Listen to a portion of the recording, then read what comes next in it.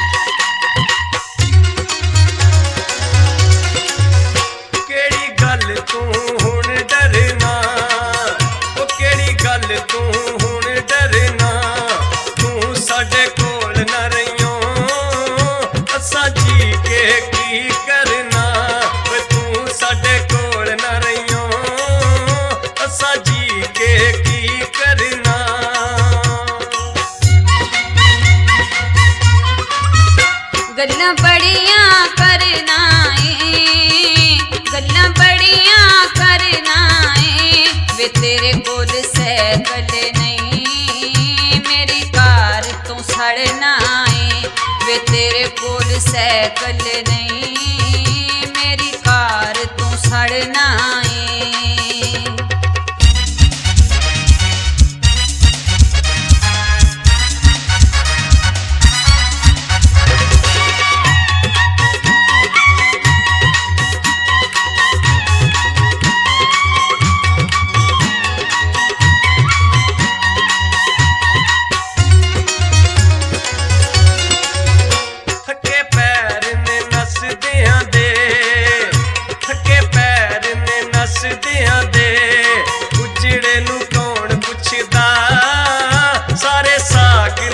ਵਸਦਿਆਂ ਦੇ ਓਏ ਉਜੜੇ ਨੂੰ ਕੌਣ ਪੁੱਛਦਾ? ਸਾਰੇ ਸਾਗ ਨੇ ਵਸਦਿਆਂ ਦੇ।